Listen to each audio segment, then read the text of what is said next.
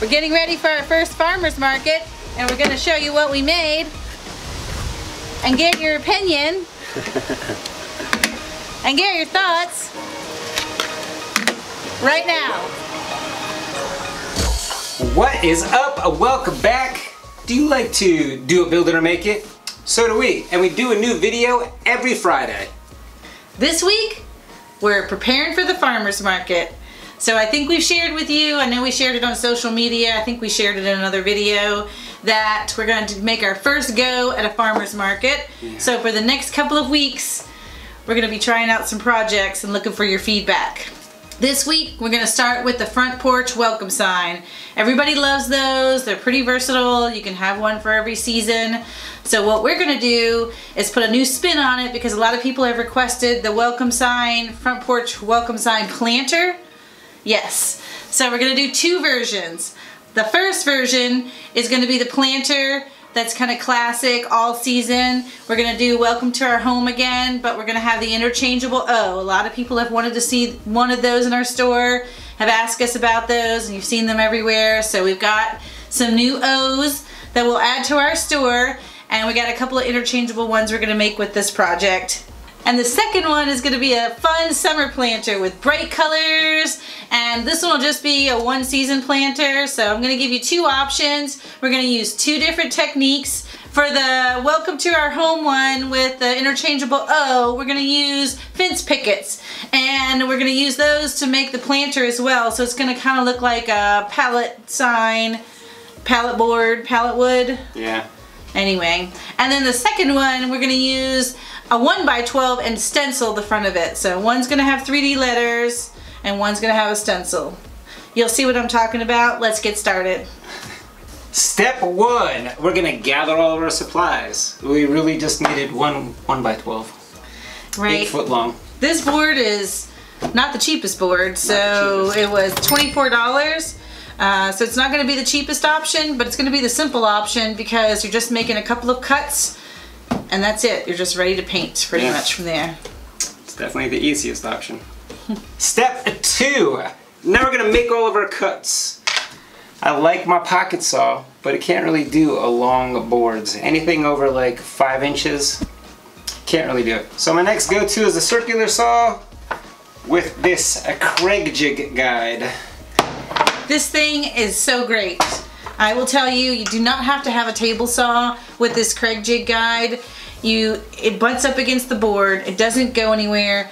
The saw, you just put this little track onto your saw with a couple of screws and it keeps it in a perfectly straight line. It really is super handy. We use it a lot to cut down large sheets of plywood. Yeah, MDF plywood. Yep. Oh yeah, all of our MDF. Mm -hmm. Yes. So I thought I'd share that with you. If you don't have one, highly recommend. Not yet a sponsor, but working on it. We're cutting two boards at 11 and a quarter, and then two more boards at nine and three quarters. Not to be confused with the platform. I said it earlier, he didn't get the joke, but maybe you guys will. Took me a second this time too. I might be slow. Some of us get it, some of us don't.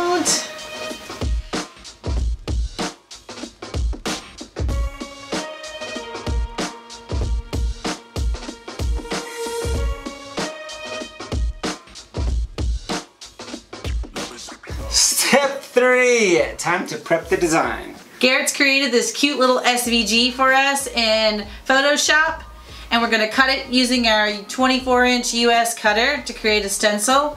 The SVG will be available in our store. You can purchase it and easily slice it and cut it on your Cricut. Step four. Time to paint. We're gonna paint everything white. Yes, we're gonna start off with the base coat of white and then we're gonna use our cute little stencil colors, I'm not even sure you can see them over there, to paint our stencil. that was graceful. to paint our stencil, we're gonna use our Bayer chalk paint this one is in tin white.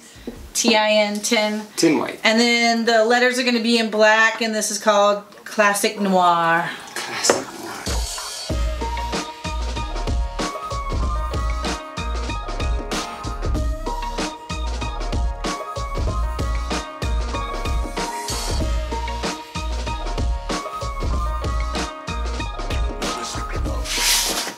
back with our stencil. We're gonna lay the stencil down before we assemble it. And finish up our painting.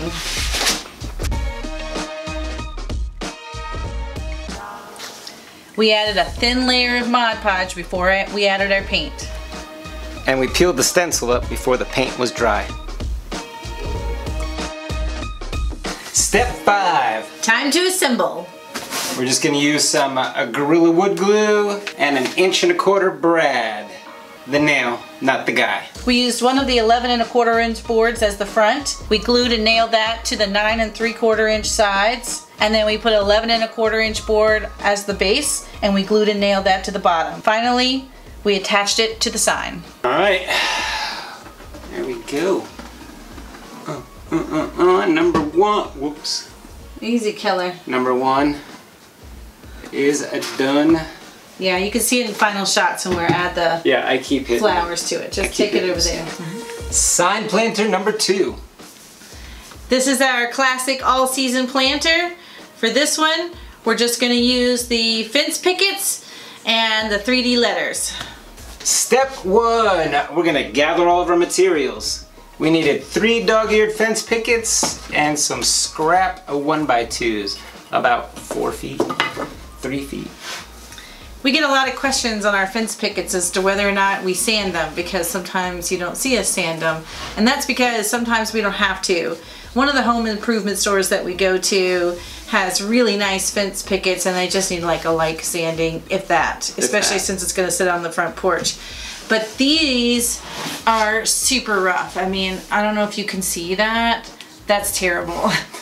That was like somebody chewed on the end of that. So this one is going to definitely take some sanding. Not, it doesn't have to be perfect. Again, it's going to sit on the front porch, but I won't paint it quite this rough. So we'll hit it with some, you know, rough sandpaper to knock some of this texture down. Hit it with a little bit of the 80. Be good Yes, to go. yeah. A little bit of elbow grease, a little bit of 80.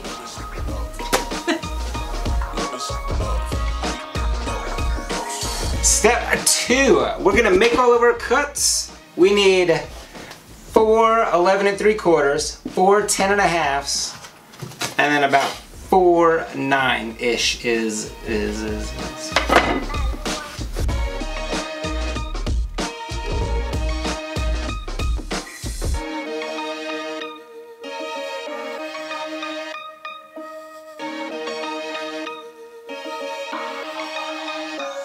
Step three, we're gonna do our design. I'm gonna take some MDF over to the Glowforge and cut out our letters and a couple of those interchangeable O's.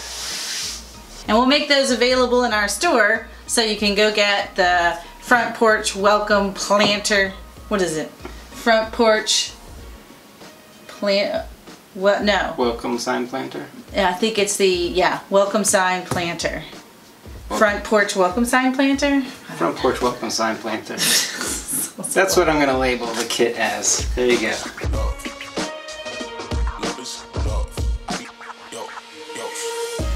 Step four. Now we do some staining and some painting. We're gonna paint our letters and all of our little O pieces. And I'm gonna stain the boards.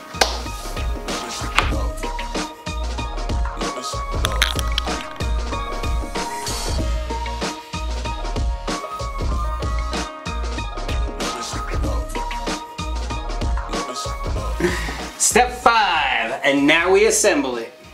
We're just gonna use these 11 and a half inch pieces that we have, some wood glue, and a one inch brad. The nail, not the guy. And these are gonna go in the back this time. Yep. Not that far down, I think. I think You you, need think so? some. Yeah, because it needs a little bit. Yeah, right there. If you could do that. These are just slightly warped, and so the closer to the center we get, the less they'll be warped.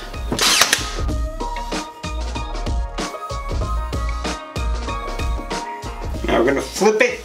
Oh. And I'll go get the letters. Okay. E upside down? Go get your biggest. Go give me that pumpkin. Oh, the E is upside down. You're famous for that. Painted the wrong side of the E. Again.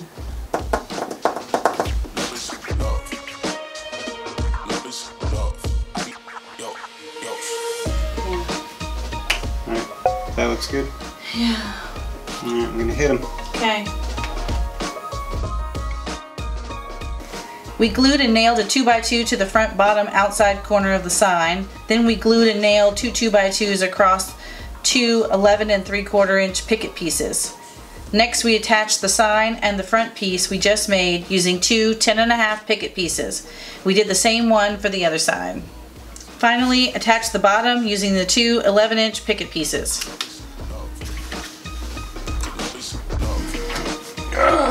Alright. Oh, we gotta drill the thing for the hole.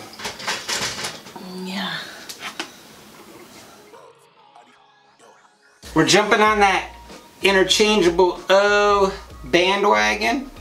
But we're gonna use this really strong magnet that we found on Amazon. And then these um, washers that we picked up from Walmart. I think this is a strong magnet. It's crazy strong. We've been playing Crazy with strong. them. I broke one. I broke one. All right, the only thing that we didn't count for or realize is that when we add the magnet in the center of this O, I don't know how we're going to attach the O. So Huh. It'll never be an O again. It'll always be something. a holiday something. Yes, it's always some holiday something. I just, it's just that I didn't catch that until just now when I was like, oh, how am I going to put that O in there? Well, I need the O. Out of nowhere where the middle Yeah. is. So I'm just taking a inch and a quarter Forstner bit and just gonna go in just a, a scooch, just a little, little touch, a little touch of the Forstner bit.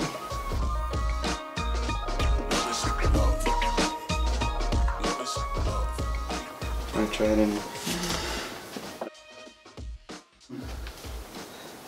Oh, perfect, perfect. Okay.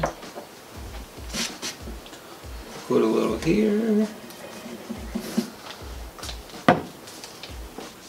We used clear Gorilla Glue to attach our magnet to the back of the board, and then we used our washers and the clear Gorilla Glue for the interchangeable O's. Alright, we're gonna let these dry. We're gonna let these dry.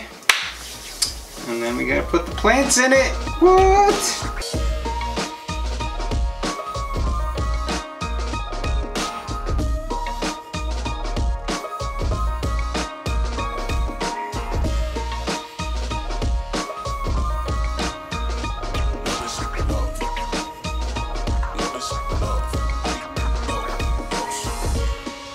Do you guys think? Are they farmers market worthy? Yeah, we've also painted our little seasonal accents. We have, and these are, like I said, will be available in the store. We have our flip-flops, we have our birthday, pet friendly, our puppy dog, Halloween witch hat, pumpkin, and a Christmas wreath, and a bunch more. So just thought I'd show you a little sample of what we've got so far. We're about out of time. we gotta get going. So we'll see you guys next week where we'll do it, build it, or make it again.